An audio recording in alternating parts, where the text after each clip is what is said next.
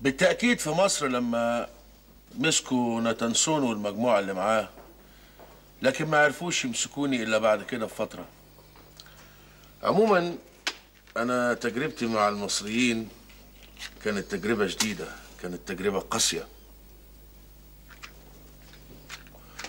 وفي بعض الأحيان كان ليا تجارب مع الإسرائيليين نفسهم. مع الإسرائيليين؟ أيوة الإسرائيليين. لأنهم في بعض الأحيان. بحجة حمايتي أو مساعدتي كانوا بيعطلوا عمليات على أكبر جانب من الأهمية كنت بقوم بيها بين الحين والآخر أعتقد إن أخبار بعض العمليات دي لازم تكون وصلت لكم هنا يا سيد يعقوب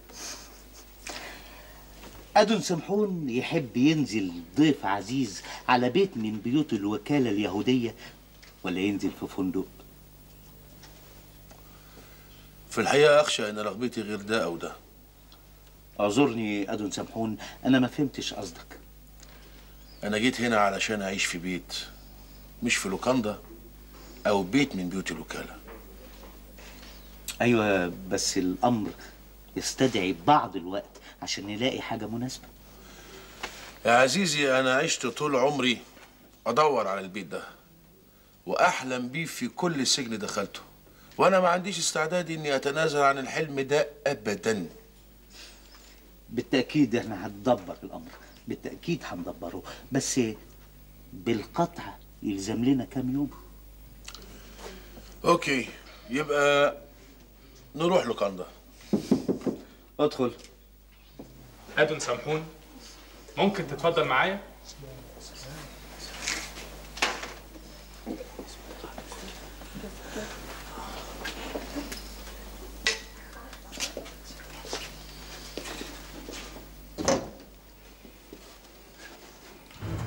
إيه رأيك يا يعقوب؟ كان معاك حق شيهون كان معاك حق. مش ممكن نسيب شاب زي ده. واضح إنه واثق من نفسه جدا. واحد بيتحرك بالثقة دي مش في إيطاليا ولا في مصر لا في إسرائيل. يبقى لازم يكون بلاش نحكم عليه دلوقتي. غلط إننا نحكم عليه دلوقتي شيمون. غلط إننا نحكم عليه من أول يوم أو حتى من أول أسبوع أو من أول شهر أو شهرين. غلط شيمون غلط غلط. شوف أنا ما سبتش ياكوف بنيامين حنانيا من ساعة ما نزل من المركب لغاية ما أنتم قلتوا لي أقف.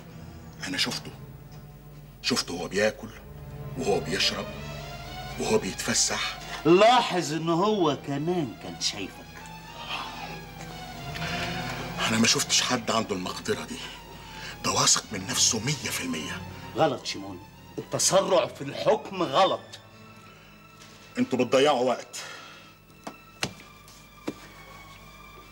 على العموم ما ينفعش معاه إلا الثعلب يوسف الأزرع هو يوسف الأزرع ما فيش غيره يبقى أنتوا هتخسروه.